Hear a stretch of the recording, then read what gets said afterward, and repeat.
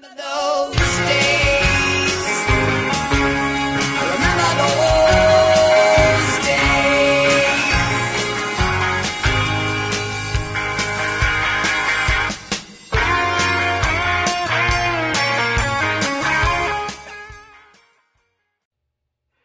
Vinyl Community. This is Tommy, and welcome to another musical adventure. Today's adventure is a little bit of a follow up on last week's video uh, where we talked about Record Store Day. And one of the things the Record Store Day people did uh, in the last couple of weeks was put out a sort of a, a wish list, if you will. Like, what would you like to see on Record Store Day? I've always felt like, and Record Store Day's kind of gotten a little better about it uh, in the last couple of years. I think that's why it's it's managed to continue and be what it is. But one of the aspects of Record Store Day that I've always sort of enjoyed is that uh, it's an opportunity to get some maybe lesser known releases. It's not all mainstream kind of stuff, and and that maybe some stuff that uh, has kind of fallen through the cracks over the years. But you're able to collectors like me or, or fans are able to get our hands on some stuff, and so I've thought started thinking about that. I thought about a couple of titles that I wouldn't mind seeing some nice fresh reissues of. Now, when I say nice fresh reissues, I mean I mean I want them done right. I don't want uh, sort of cheap, just digital. Like here's a here's a copy of a CD. I'd like for it to be be done well, uh, cut by a good mastering engineer. Uh, and and put out correctly. There, there's a lot of labels, and I'm not going to get into that. And again, politics of Record Store Day aside, th- look, this isn't the place to air your grievances. I know there are people that hate Record Store Day, and I get it. Look, it, it, don't watch this video if you don't want to. I'm, I'm talking about reissues. You can relate it to Record Store Day or not. But, you know, at the end of the day, I, just all the arguments about how you hate Record Store Day, look, I've heard them, and I respect your opinion and it's great, but uh, there's no need to just air that out here. I, am really asking a very specific question in this video, and I like to maybe stay focused on that. Um, so if you want to just, like, for your own sake, if you just hate Record Store Day and you don't want to have anything to do with it, that's great. Say these are things, some things I'd like to see reissued. Maybe that's a better question. Maybe that's my fault. I should ask that question. But it's kind of piggybacking on off of the Record Store Day question uh, of of things that we'd like to see reissued. Uh, and and and when I say reissued, I'm coming back to this. There's a lot of uh, record labels, and I'm not going to go into them here on this channel.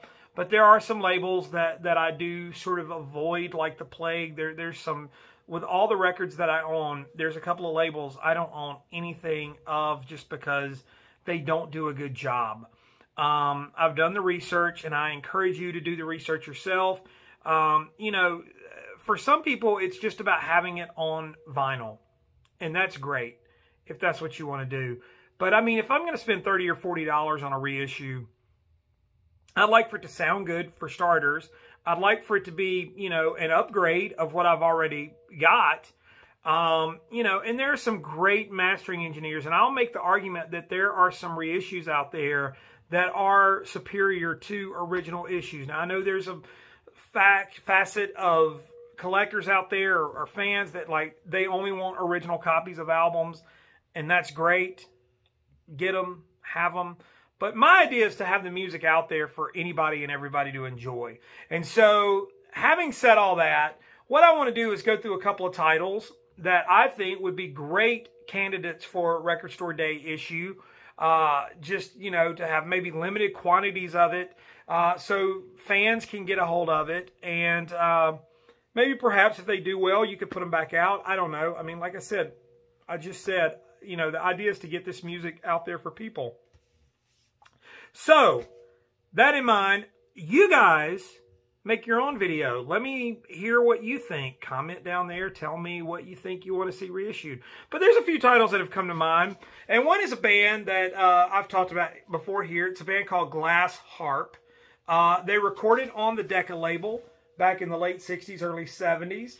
Um, and of course, the thing with Glass Harp is that they featured a young guitarist, Phil Keaggy, uh, Daniel uh, Daniel Pecchio, and John Sferra, the drummer. They were a trio, a power trio, kind of in the vein of uh, maybe like a Cream a little bit of a jam rock kind of thing they were doing.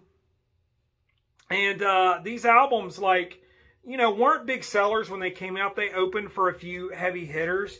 They only did three studio albums in their lifetime. Um, that was the first one, self-titled. This is the second one. It's called Synergy, also on Decca. And, um, you know, hot playing is what it was about. You know, power trio. Phil being just a phenomenal guitarist, uh, really, really, really talented, uh, but just a good, good, good band. Uh, and like I said, they opened for a few heavy hitters, bands like the Kinks uh, and stuff like that. They came out of Ohio, and this is the third album. It makes me glad.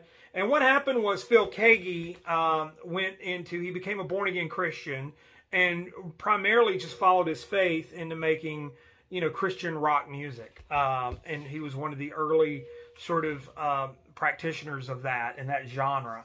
Uh, but these albums are really good. Now, there's a little bit of the gospel stuff on here. It's not like heavy handed or anything like that. But uh, if uh, super great guitar playing is your bag and you love, you know, flashy guitaring, then yeah, Glass Harp is a band that you should definitely check out. Uh, and like I said, these three albums, they, they've come out on CD, but uh, they've not uh, been reissued on vinyl in any way. I think, I want to say, now I could be very wrong, um, and I may go back after I do this video and, and do some research, but I, want to say there's been a reissue of like some early, early, early recordings that have come out. I, I know that's a fact. Um, some pre-Decca stuff. And, um, but there may be something in the works on, on those albums coming out. So maybe this is a wish this granted. But yeah, Glass Harp, I think, is a great example. They're not really a commercial band that's going to see a lot of, you know, people not people aren't going to line up early in the morning to buy Glass Harp records. Now, the next one is an album that's not that old. I say not that old. It's about to be 20 years old. And who knows, maybe for the 20th anniversary, uh, it'll be time to, to see a reissue of it. I was lucky enough to get this on vinyl when it first came out. Uh, and now copies go for pretty high prices because this was in the early 2000s, 2004, when this was released. Brian Wilson presents Smile. This was the fully realized Brian Wilson version of the Smile project. Uh, and so it was a big deal when it was announced he was going to do some live shows uh, in England. He was going to finally finish Smile. Uh, and for fans, it was just like, wow, we were all holding our breath. We weren't sure if it was actually going to happen. Well, they went in the studio and recorded uh, this version of Smile, and it's pretty much been accepted now as the version of of Smile. Uh, when the Beach Boys did their box set a few years later, uh, they used this as the blueprint for putting it together based on what uh, how this was done. Uh, but this is the completed version uh, under Brian Wilson's name. Uh, and it's a really, I, I mean, I can't say enough about this album. I absolutely adore it. I adore this music. and it never ceases to amaze me. But this is ripe for the picking. Coming up on a 20th anniversary, it's about time to see this come back out on vinyl, uh, especially for vinyl collectors. The Brian Wilson Presents Smile. I think it'd be a good record store day uh, release. And so, and then the last uh, one that I picked uh, was an album that you guys have heard me talk about before uh, on this channel, but I, it's an album that sort of fell through the cracks. But I think it'd be really cool for a label like Light in the Attic or somebody uh, to pick up on this and put it out. But it is the hot dogs. Say what you mean. Uh, this was on the Ardent label. This is uh, Bill Rennie and Greg Reding, two Memphis guys. Uh, I love the front cover here. They're just sitting in their uh, lawn chairs in a, in a light shop, uh, sitting by the fireplace, um, looking kind of cool. just chilling out, as you do. This was uh, produced by Terry Manning, uh, released on the Ardent label, so Big Star fans uh, rejoice.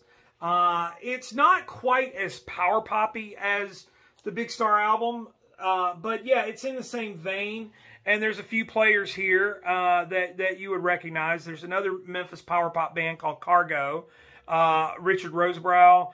Um, you know, there, there's Carol Manning did the cover. Um, this came out in 1973, Uh, and yeah, I mean, it kind of lives in the shadows of the more famous and and and sort of popular Big Star, but there's that beautiful Ardent label. Uh, and one of the things you could do on this is uh, the um, is do the single, and you've heard me talk about the single. They do a version of "I Walk the Line." that is absolutely killer. Now this album isn't, I don't know how rare it is. I've, I've seen a couple of them out there in the wild. Uh, it's a fun record, but like I said, just never really, really ever came back around, never saw the light of day. Um, and there's quite a few of these Memphis sort of power pop bands. I mean, you know, Big Star sort of gets all the glory and, and their story has been told so many times. But there are bands like Cargoe and, and some of those groups that were floating around Memphis at the time doing sort of rock and roll, melodic rock and roll. And uh, the Hot Dogs. This is an album that's that's right for the picking for um, for a reissue. So yeah, those are my picks for albums that came out that haven't been reissued uh, since. And so, what do you think? Uh, give me a list of them. Uh, you can comment, make your own video. I'd prefer you make your own video. If you do make your own video, put it in the comments down there. And you guys know the drill. Hit the subscribe button, the thumbs up, whatever you do. Just do it. Uh, and look, I appreciate everyone. There's been some nice videos that have come out lately with some kind words. Uh, and I appreciate that. Uh, and I thank everyone that tunes in to the channel, takes time to watch, takes time to comment. Uh, I really do appreciate it. Hey, that's all I've got for now. We'll see you next time. Thanks for watching.